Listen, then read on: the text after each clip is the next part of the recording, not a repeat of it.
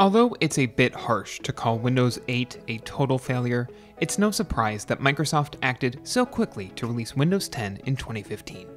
That operating system took a lot of what worked about Windows 8, but rolled it back to a traditional Windows layout, complete with the Start button and a more standard Windows design.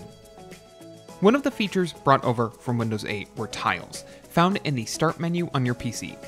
Tiles allows you to display app icons, widgets, contextual information, and so much more, giving updates and notifications without having to open an app. If you're looking to control how your tiles appear in your Windows 10 Start menu, you've come to the right guide.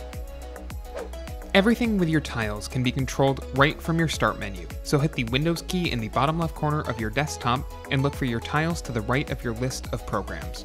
You can control how your Start menu appears by dragging it to the left and right, which gives you additional room for more tiles to appear or to spread them out in a way that fits your needs.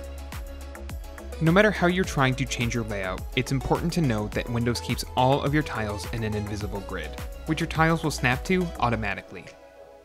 Moving tiles that already appear in the grid is super easy. Just click and hold your mouse on a tile for a moment, then drag the tile for where you want it to appear.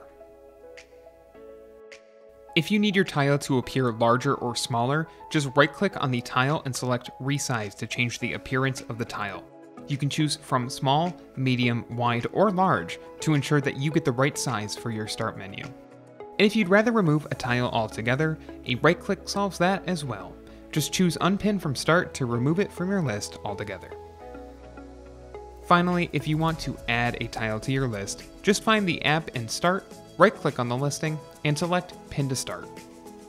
If the app supports live tiles like weather, you'll get access to a full live tile instead of the basic tile most other apps receive.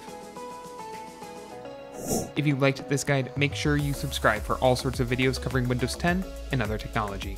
And do not forget to check out one of these videos we think you might enjoy.